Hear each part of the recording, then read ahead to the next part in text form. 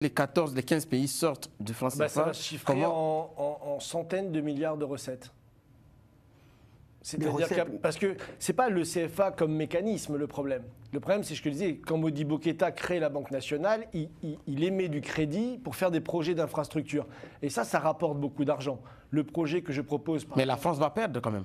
Oui, vous France- pensez que vous êtes aux affaires La France, c'est Le franc CFA est, est- est- banni, vous êtes aux affaires, vous perdez, vous allez gérer. Comment vous Mais allez nous, gérer on va faire d'autres programmes en France, il n'y a pas de souci. Mais ce que je veux dire, c'est que là-bas, là-bas, si vous voulez, ils, ils pourront à nouveau faire des crédits publics Mm. avec des banques nationales pour créer justement des infrastructures. Vous savez, le train entre Nairobi et Mombasa qui a Mm. fait beaucoup de bruit, 5 milliards euh, de coûts, euh, c'est euh, le En dollars 5 milliards de dollars, je pense. Oui.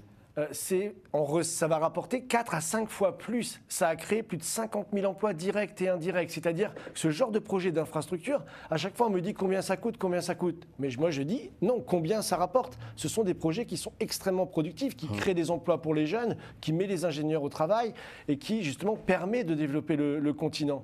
Donc ça c'est un facteur très important. Aujourd'hui, avec le CFA, vous avez des dirigeants africains qui ont plus d'argent sur leur compte en banque en Suisse que n'est dépensé pour la santé et l'éducation dans le pays. Donc ce n'est pas le CFA en soi, c'est le système, ceux qui défendent ce système et les gens qui sont mis en place en Afrique pour défendre ce système. Il est là le vrai problème, ce n'est pas la monnaie. Vous savez, on peut utiliser n'importe quelle monnaie pour euh, faire un train ou ouvrir un bordel. Ce n'est pas la même philosophie. Alors, vous avez